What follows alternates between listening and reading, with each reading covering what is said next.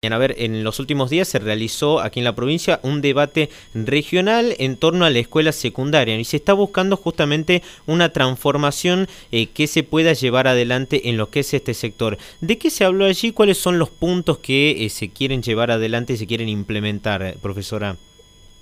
Bueno, estos días, desde el martes primero hasta el día de ayer, el día 3 de octubre, se realizó un seminario organizado en realidad por UNESCO UNICEF UNESCO, que es la Organización de las Naciones Unidas para la Educación, la Ciencia y la Cultura, y UNICEF, que es el Fondo de las Naciones Unidas para la Infancia, a ambas instituciones que buscan garantizar los derechos de las infancias, las adolescencias, asegurar el bienestar de estos actores en nuestro mundo, ¿no?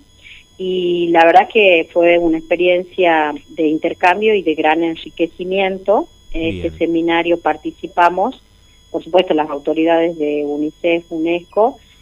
eh,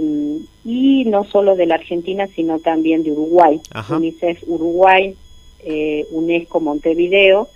y a su vez eh, representantes de ministerios de educación de algunas provincias, ¿sí? de Córdoba, de Mendoza, de Salta y de Tucumán. Bien. el primer día fue de modo virtual,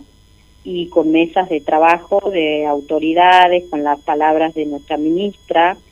eh, justamente hablando sobre la transformación de la educación secundaria, también las palabras del ministro de Córdoba, del ministro de Mendoza y las autoridades de UNICEF y UNESCO, una instancia de virtual muy importante y enriquecida dentro de lo que es la transformación de la educación secundaria, este seminario lo que pretendía era profundizar sobre el tema de la lectura y la escritura. En secundaria también, porque lamentablemente y en base a los desempeños de nuestros estudiantes, fundamentalmente en el área de lengua y de matemática,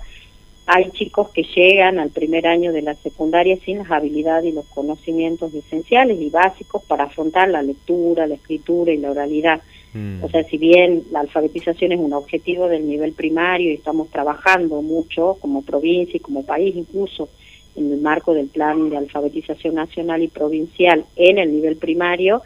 esta jurisdicción considera que es importante hacer acciones en nuestro nivel, en secundaria y en primer año. Porque no se trata de culpabilizar a nadie, el estudiante llega en esas condiciones y tenemos que actuar, tenemos que trabajar para compensar saberes y que los chicos cuenten con estas habilidades que son necesarias e imprescindibles para que pueda aprender en todo su secundaria, en todas las disciplinas y áreas. Claro, claro. Y mm, allí, eh, profesora, también, bueno, lo, lo marcaba la, la, propia ministra en su momento, eh, de eh, que se habló del desarrollo de las nuevas tecnologías, digo, de todos los avances que hubo en este tiempo y de cómo eso se puede aplicar a la educación. ¿Cómo lo, cómo lo ven ese tema aquí en la provincia? Sí, así es, porque leer, escribir y hacer uso de la oralidad, no solo en términos convencionales, que ya es, por supuesto, muy importante, poder leer un texto de un libro, ¿no? de una noticia periodística, pero sabemos que hoy el mundo está atravesado por la digitalización en todos los sentidos, a través de, del celular, los chicos es una ventana hacia el mundo, ¿sí? Y sabemos que es un dispositivo que incluso hasta en familias muy vulnerables y de bajos recursos está presente, ¿sí? Hay una gran valoración sobre estos dispositivos, la, las mismas familias llegan a, tienen la posibilidad de tener un dispositivo a, través del Estado con programas educativos, este año incluso a las escuelas secundarias mediadas por tecnología, que son 58 en la provincia, se hizo entrega de 400 computadoras a los chicos, que son estudiantes de zonas rurales muy dispersas, y a partir de, de estos dispositivos y la conectividad a Internet, justamente en esta semana estamos instalando antenas Starlink en estas escuelas eh, que han sido provistas por UNICEF en convenio y la provincia se hace cargo del servicio mensual de Internet y bueno, la verdad que estamos muy contentos porque da cuenta de garantizar el derecho a la educación y disminuir la brecha digital en nuestros estudiantes en la ruralidad. Claro. El 60% de las escuelas de Tucumán son de la ruralidad, así que esta gestión está poniendo mucho énfasis en trabajar con la ruralidad también. Eh, le consulto sobre otro tema, em, aparte de lo que han sido estas jornadas, profesora, pero em, justamente eh, destinado a lo que tiene que ver con los avances en la tecnología, porque eh, hay un proyecto presentado en la legislatura em, que tiene que ver con la formación, buscar la formación escalonada para los docentes en base a las herramientas que puede brindar lo que es la inteligencia artificial el día de hoy, ¿no? Este proyecto presentado por la legisladora Vargas Ignace. ¿Cómo, lo, ¿Cómo la ve esa situación? Ya desde el ministerio, desde la política de la formación docente, no solo lo que es la formación docente inicial cuando los estudiantes, futuros docentes cursan su carrera de grado, sino también la formación docente permanente, se están incorporando instancias de formación destinadas a los docentes en torno a, todo lo que implica la, educación tecnológica, la educación mediada por tecnología, en ese sentido, a principio de año hay una circular de nuestra dirección que propone la realización, los primeros días de clase, el primer mes, de talleres multidisciplinares. O sea, la idea es que los chicos trabajan articuladamente con sus docentes en base a distintas temáticas que van surgiendo eh, a lo largo de los años y en esta oportunidad se optó por la inteligencia artificial justamente propuestas eh, atravesadas por la inteligencia artificial. O sea que para nosotros es muy importante que el docente tenga las herramientas pedagógicas necesarias para afrontar la enseñanza mediadas por las tecnologías. ¿no? Un docente que, que no esté a la altura efectivamente va a ser muy complejo de garantizar calidad en la enseñanza, porque el mundo está mediado por la inteligencia artificial y muchos otros aspectos que hacen a la digitalización hoy.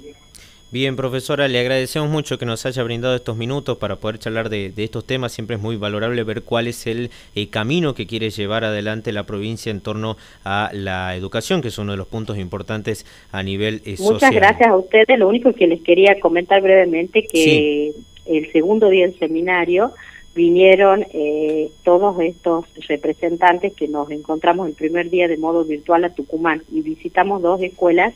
de Lomas de Tafí, la escuela secundaria Lomas de Tafí Costello y la escuela Costello de Tafí Viejo y la verdad que fue una experiencia hermosa. Se fueron muy contentos eh, tantos nuestros este, las provincias vecinas como las autoridades de Uruguay. Una buena mirada el tercer día cerramos en Buenos Aires, así que bueno, muy contentos. Volvimos anoche, muy contentos porque ayer fue una mesa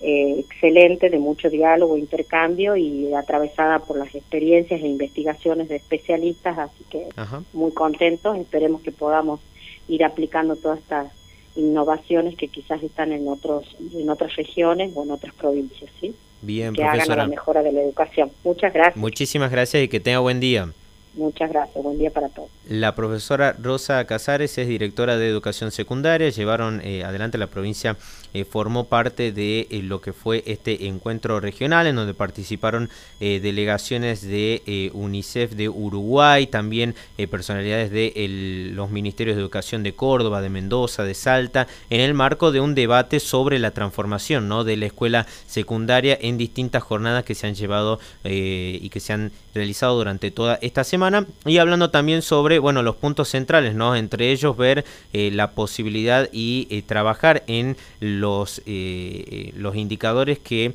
marcan que el chico entra al secundario sin los niveles correspondientes de lectura y de comprensión y es por eso que se está trabajando en ello aquí en la provincia y también en adecuar las distintas nuevas tecnologías para el desarrollo de la educación no solamente de los chicos sino también del desarrollo de los docentes